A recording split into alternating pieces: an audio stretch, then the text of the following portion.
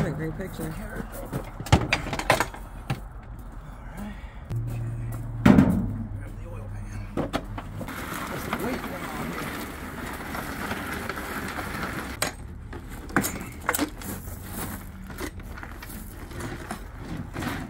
It's actually plenty good light right there if you want to do it right there.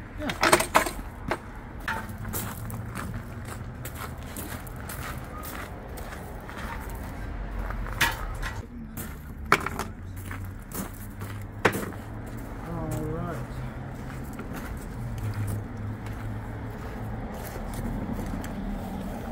Clips off here.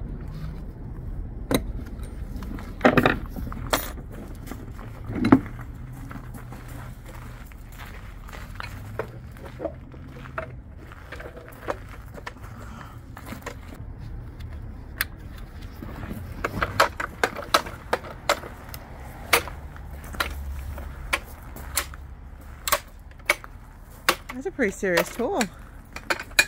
Okay, we're set up for a half inch black pipe right now, so we'll we'll just go ahead and rock with the half inch. Go ahead and rock with the half inch right now.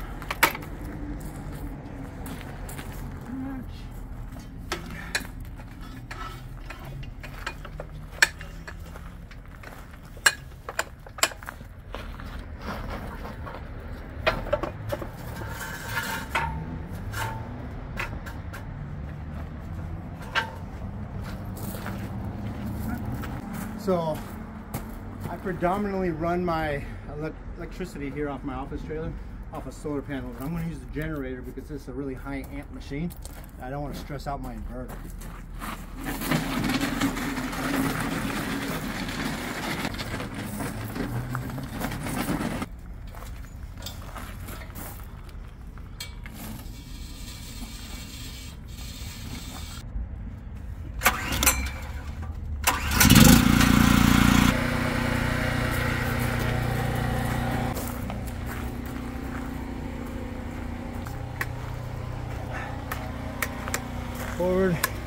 Neutral, reverse.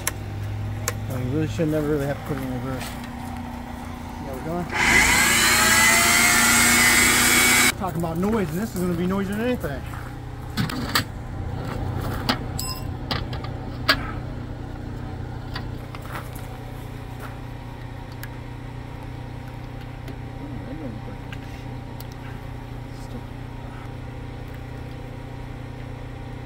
Nice. Nice.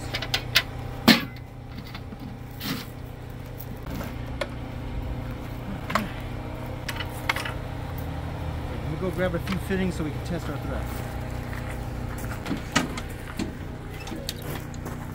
We're to be here. You did pretty damn stuff. That's cool.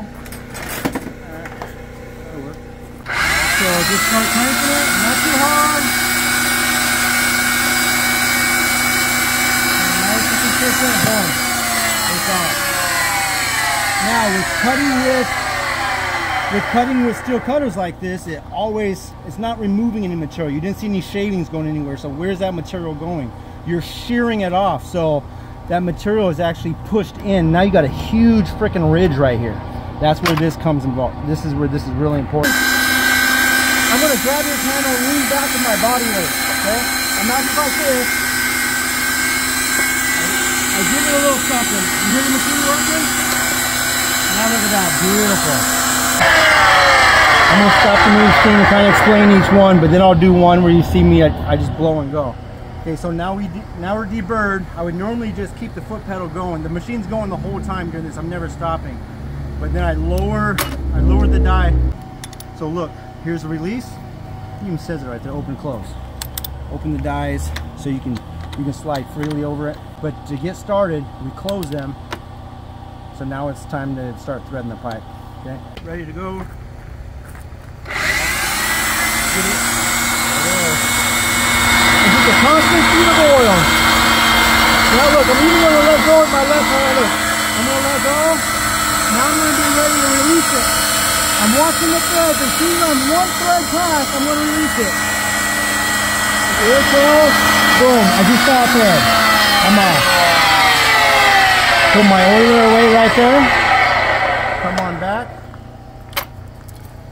Give that a wipe and a test.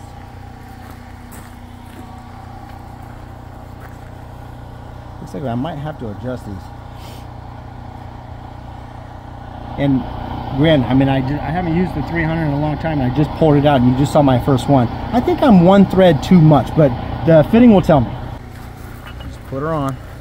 Just put her on until it gets tight. Put her on until it gets tight. That's tight. Now watch. We're watching for this side right here. That side's back. There's one. There's two. There's three. There's four. There's five. Five and a half. Too much. Too much. So we do have to make an adjustment because we're looking for three. If that would have been four, I probably would have kept rocking, rocking and rolling. If that would have been two and a half, probably would have kept rocking and rolling. But five's too much. So we do need to make an adjustment. So loosen it up. Okay, loose. And watch.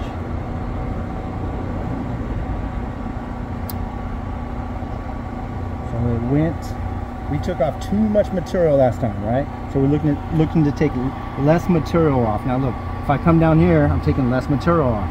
If I go this way, I'm taking more material off.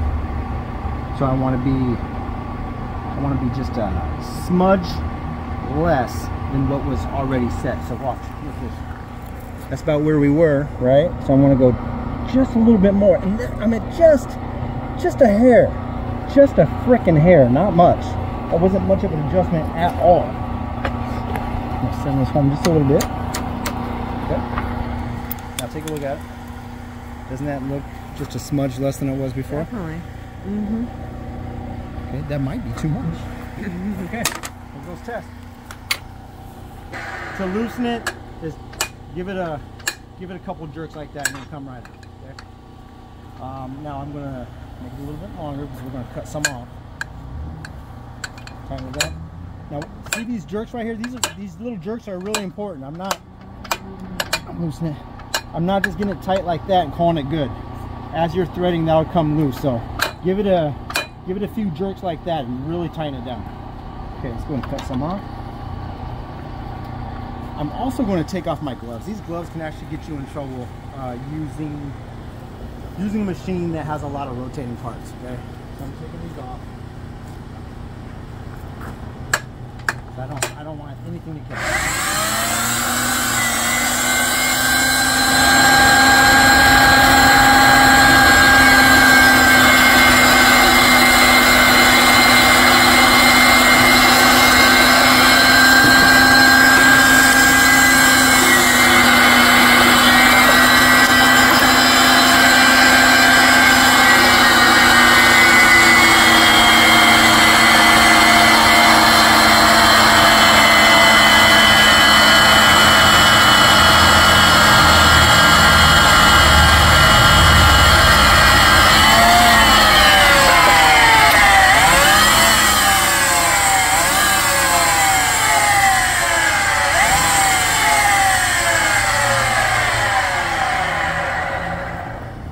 Alright, let's see how we did.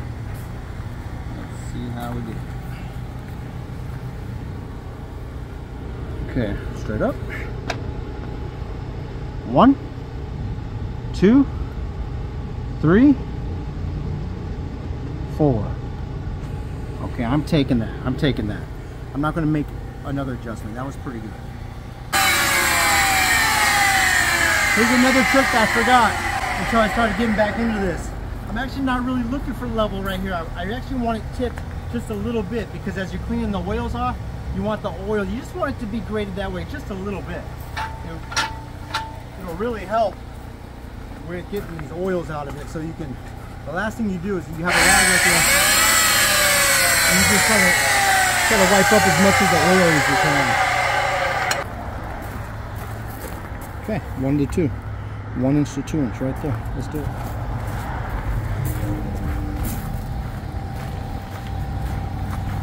Did you see that?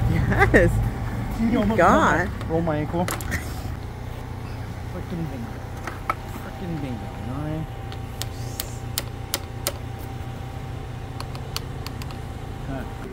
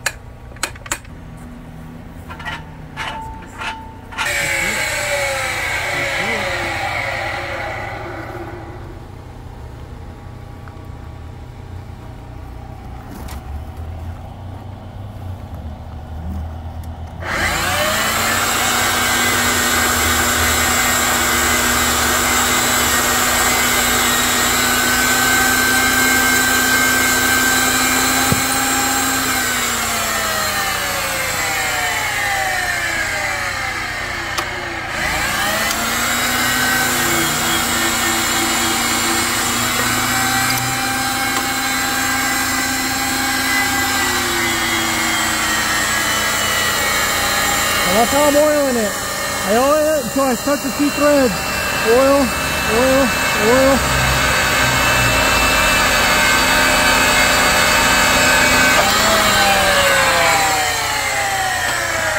Probably could have put a little bit more oil on that one.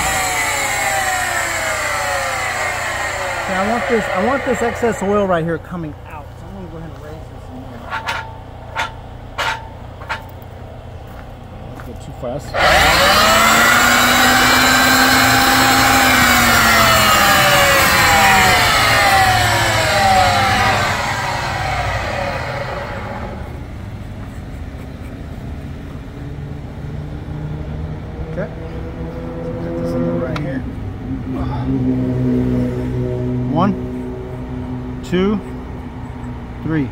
Perfect. Hit it the first shot. Right, let's do a couple more. Loosen it.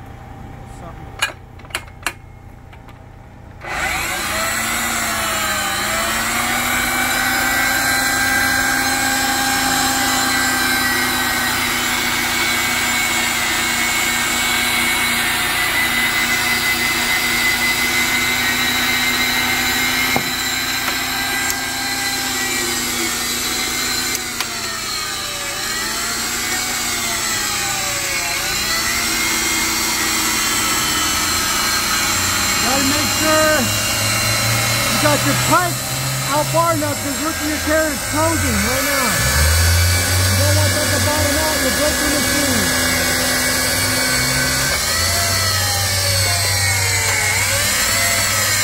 That's about as close as we really want to get it right there. I'm, I'm really a little bit too close for comfort. I should have had this a little bit further out. Back this carrot up a little bit. There we go is it does have a clamp on the back here that I would normally clamp down, but mine broke.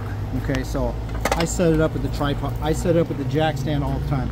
So if your machine had the back clamp, you would not need to set up a jack stand that close. Don't watch this YouTube video and do what I'm I'm about to show you because you can really get hurt. Okay, but you have a fab you have a fabrication you're doing and you know you have a certain amount of sections that you want to pre-put a fitting on, you want to pre-put a 90 on, you can use the machine to make quick work out of it and easy work out of it so you're not doing some heavy wrenching in the field. But um, this is this is definitely a skill that you're going to want to practice. When you get an opportunity to have a journeyman show you um, so you can gain the feel of it okay? So how to use the machine to put fittings on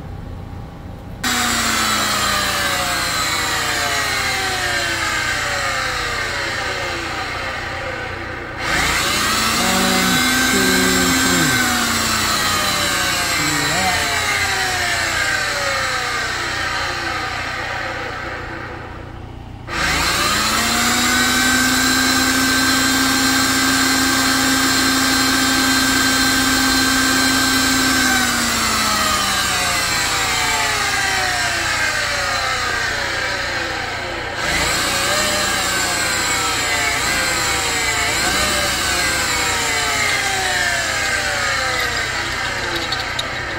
Now, keep off the frickin' pedal when you're setting this.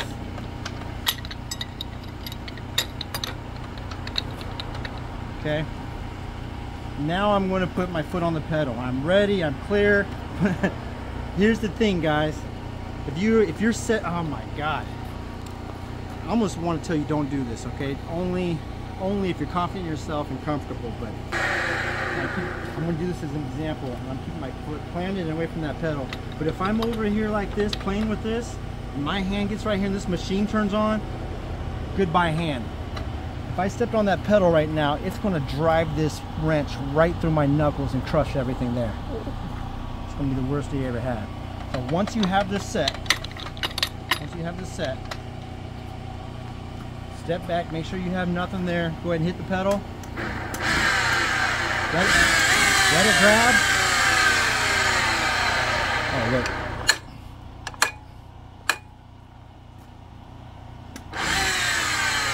Right now, the machine is threading into my fitting. Okay, the pipe wrench has my fitting, and look, I can pull up. Look, I can still pull up. So this is how you do this. You put it on, and when you can't When you can't easily pull up anymore, that's when you know it's done, okay?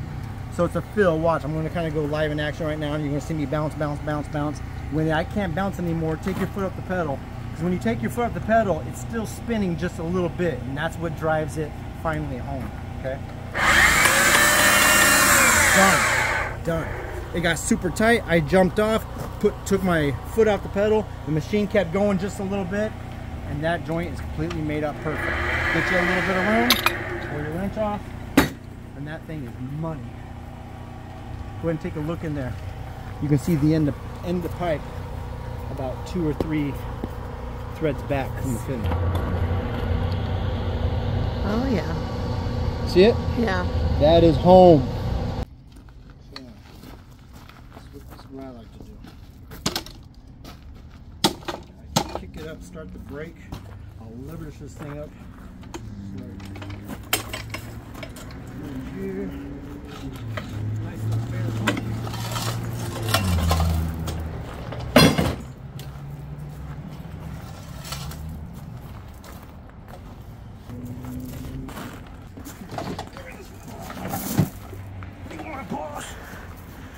We need to Wait, do something once, right?